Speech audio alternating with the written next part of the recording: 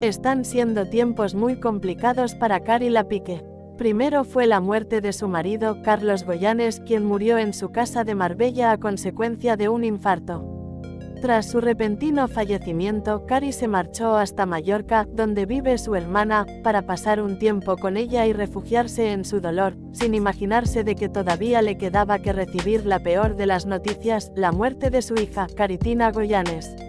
La empresaria falleció a raíz de la misma dolencia que su progenitor, dejando a su marido y sus hijos completamente desolados.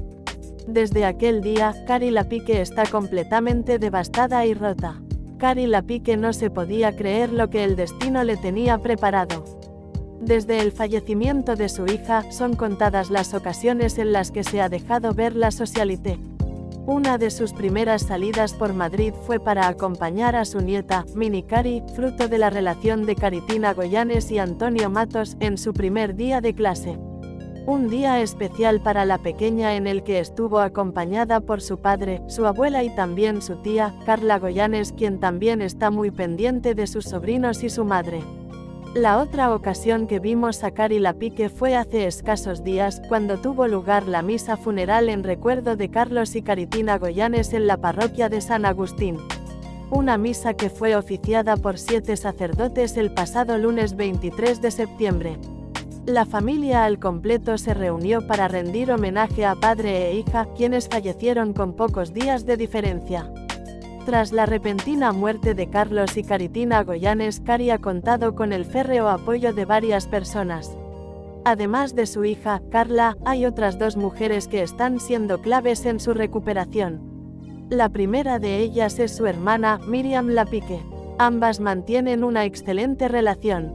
De hecho, como hemos dicho anteriormente, se encontraban juntas en la casa de Miriam en Mallorca cuando recibieron la trágica noticia de la muerte de Caritina. Por este motivo, Miriam no ha dudado en dejar su vida en la isla Balear y trasladarse hasta Madrid para estar más cerca de su hermana. Tal y como adelanta el español, la viuda de Alfonso Cortina, quien falleció en 2020 a consecuencia del coronavirus, se ha mudado a vivir con su hermana animada por sus hijos, Felipe y Carlos Cortina. Los dos empresarios son conscientes del sufrimiento de su tía, con quien mantienen una excelente relación, por lo que no han dudado en decirle a su madre que se marche con ella a vivir. Además, así ambas se harán compañía la una a la otra. Tal y como aseguran en el citado medio, Miriam Lapique se ha volcado al 100% en su hermana y ha dejado su vida para intentar proteger a Cari. El plan de que la viuda de Cortina se mudara a vivir con su hermana llegó tras la muerte de Carlos, antes de saber que el sufrimiento no había cesado. Sin embargo, tras la muerte de Caritina, ya no había duda de que tras el fin de las vacaciones de verano, la mudanza de Miriam iba a ser un hecho. Miriam y Cari siempre han estado muy unidas. Ahora más si cabe, van siempre juntas a todo, cuenta el entorno cercano a ellas. Sin embargo, no están solas en este proceso de duelo. El domicilio de Cari en estas semanas es un no parar de recibir visitas. Tiene muchos amigos que no quieren dejarla sola en estos momentos tan difíciles para ella. Son conscientes del dolor que tienen, pero también de que, en medida de lo posible, tiene que retomar su vida. Por ello, también la animan que regrese a la vida pública. A pesar de que todavía no se encuentra preparada, todo parece indicar que en las próximas semanas podría retomar sus apariciones. Aunque todavía no está confirmado. Un regreso al que le anima su hija, su hermana y la otra mujer clave en su recuperación, Carla Vega Penichet.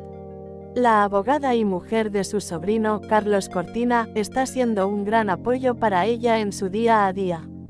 La joven está siendo clave en su recuperación, Además de estas dos mujeres, para Cari Lapique pasar tiempo con sus nietos también le está sirviendo para intentar apaciguar el dolor tan tremendo que siente. Se vuelca en el cuidado de los más pequeños de la familia.